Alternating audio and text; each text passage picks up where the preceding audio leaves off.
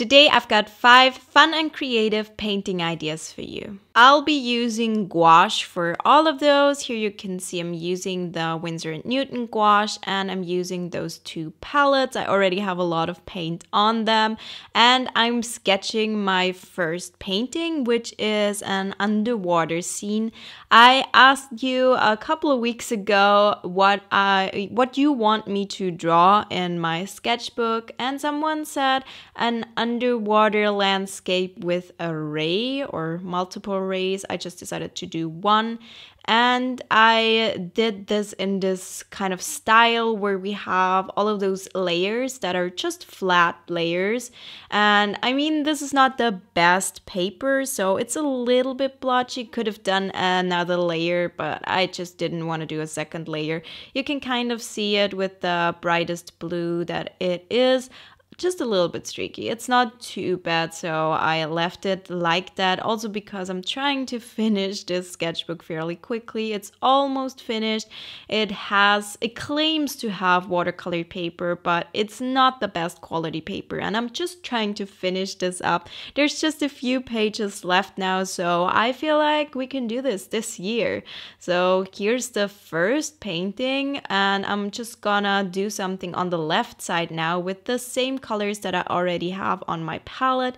And here I'm just gonna paint some circles. Like it doesn't always have to be this mind-blowing idea. You don't have to always paint something specific. Sometimes I'm just gonna paint circles and that's hard enough, honestly. Like painting good looking circles is not that easy. It's a good practice. It's a little bit mindless. You don't have to focus on making something look realistic or anything. Just focus on making your circle as round as possible and I feel like this is a really good practice, especially if you are not that used to your paints. Like I said, I'm using gouache here, and if you haven't used gouache that much, this could be a really good exercise in learning how to get the consistency right and just how to paint with it essentially. And this is how the double page spread looks. I really like that it's more on the simpler side. Sometimes you just need to do it like that. And now we're flipping and doing another page spread in this book.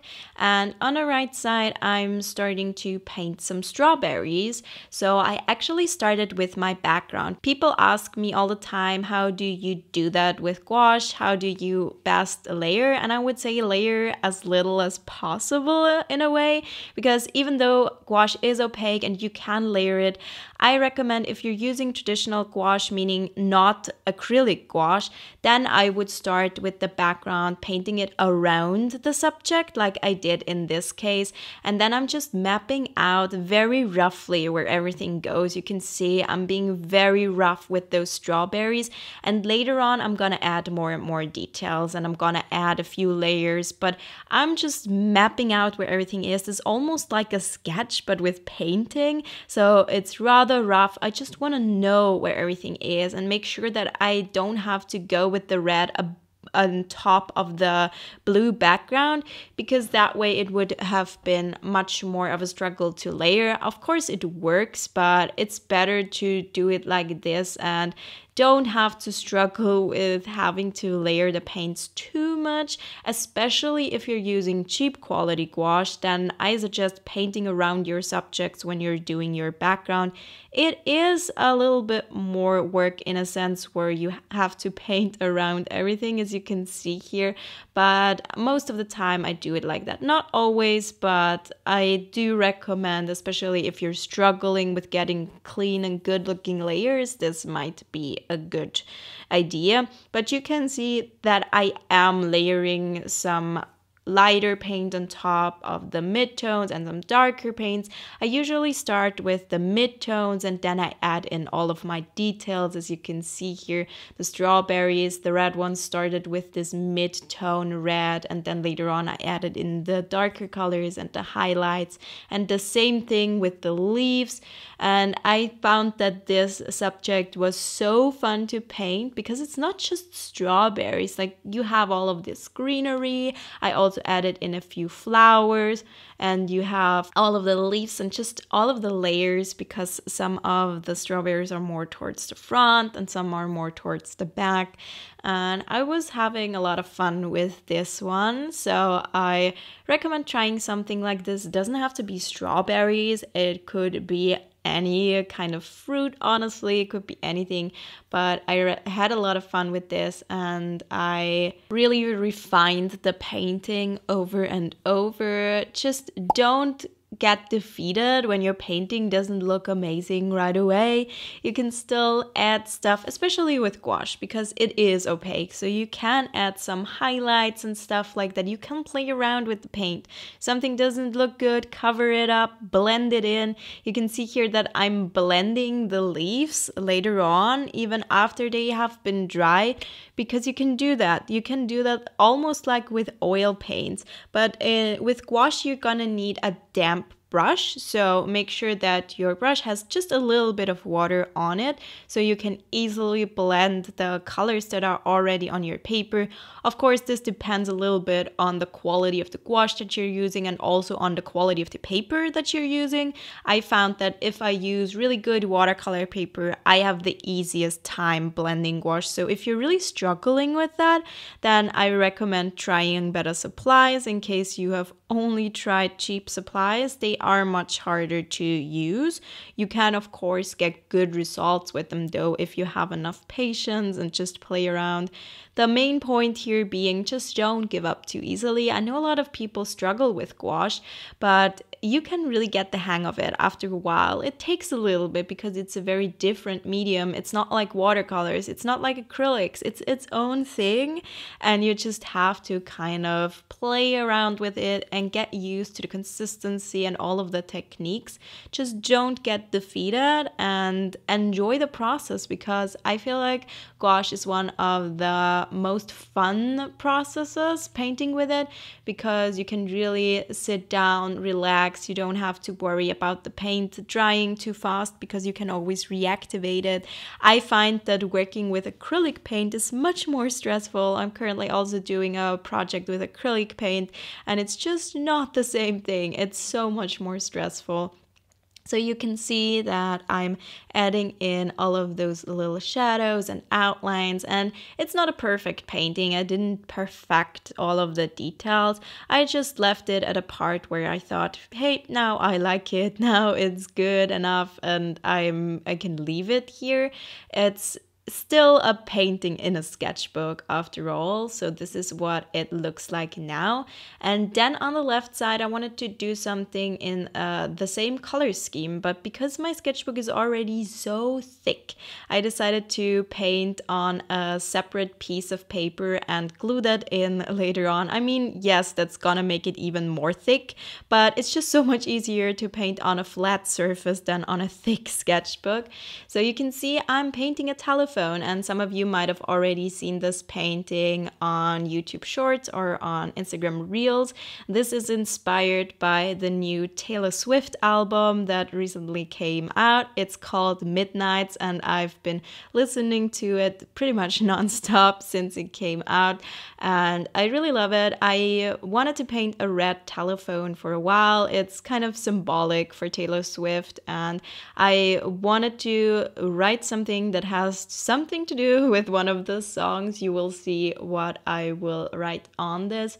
And I just had so much fun with this one because it's this illustrative style that works really well with gouache. I was struggling a bit with the paper. I believe I was using Arteza watercolor paper, but I'm not a hundred percent sure. I found it in a drawer, so I had this piece of paper lying around. I don't know what it was. I cannot guarantee that it was a certain brand. I was struggling a little bit with it because it bled a little bit more than I'm used to.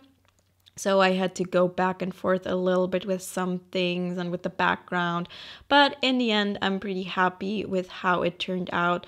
Also, I really love the colors. I love this specific red tone. I believe it's the primary red from the Winsor & Newton starter set. I love the color of this paint so much. It has this magenta kind of tone. I have watercolors that are called Quinacridone Rose or Quinacridone red. Those are usually those types of red tones.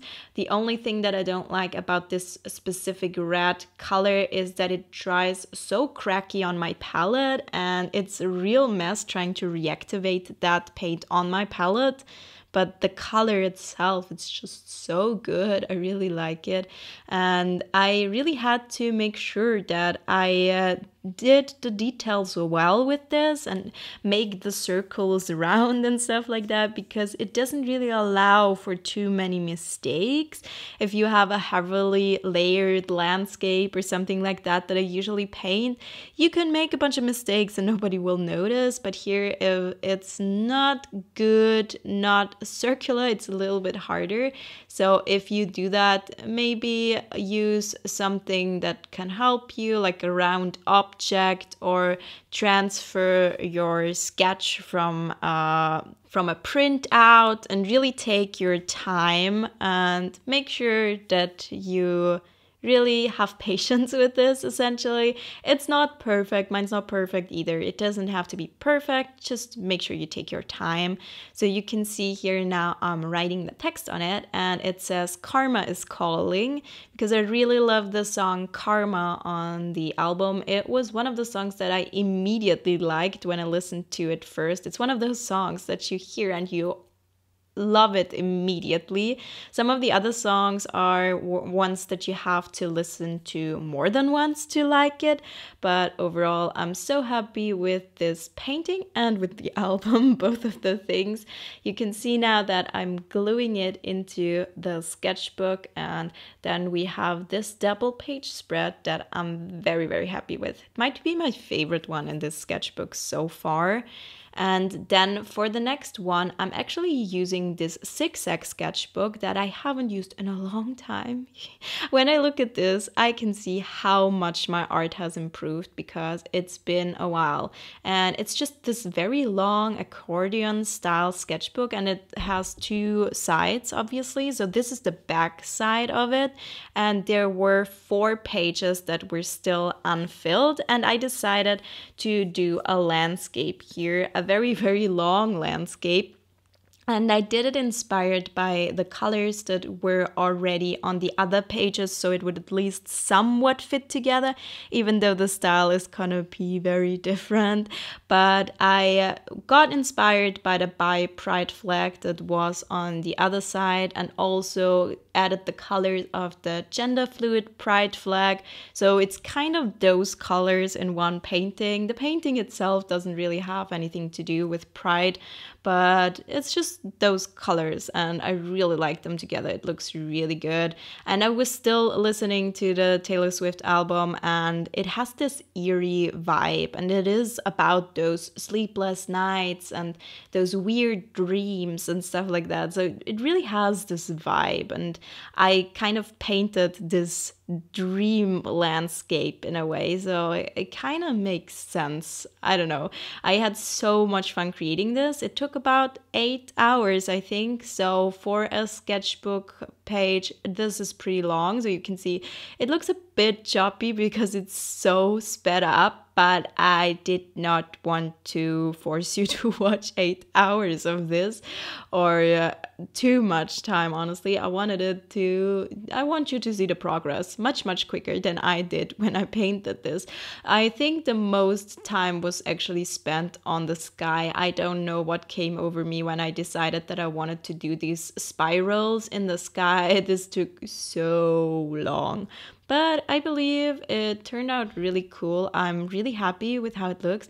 And honestly, I really enjoy this style. I have created a few landscapes in this kind of style now, and I feel like this is kind of starting to become my style. It's kind of developing a little bit, and I'm really happy that this is finally happening. After four years of consistently painting, I kind of feel there is something there. I might have an art style somewhere hidden here, and yeah, I really enjoyed this, even though it was a little bit tedious and it took a while, but I had a good time while doing this, so I think that's what matters most. And not all of these ideas have to be quick and simple. You can see here that I splattered a little bit of paint, but I kind of fixed that. I had to paint over that anyways what I wanted to say, not all of these paintings have to be super quick. Sometimes I just want to take my time and enjoy the painting process. And some paintings are just not going to be something that you can whip out in an hour or two. Some paintings take a little bit longer. And I know that every artist has a completely different reference for what a long painting is or a short one. Some people spend 80 hours on a painting and that's their normal pace because they add so many details and stuff like that or they're huge paintings. And some artists they uh, paint and create something in less than an hour. It's very very different. Point being don't force yourself to go at a pace that doesn't work for you. I really hated that in school when we only had a certain amount of time and i would never finish my paintings. I never got done and then I had to rush to finish it. And I really hated that because the painting never looked to the quality that I was inspiring to because I just didn't have enough time. So if you're painting on your own time, there's no point in rushing too much. There's also no point in forcing yourself to take too much time if you want to do something quick. Like, either way is fine as long as you enjoy the process. That's the most important thing.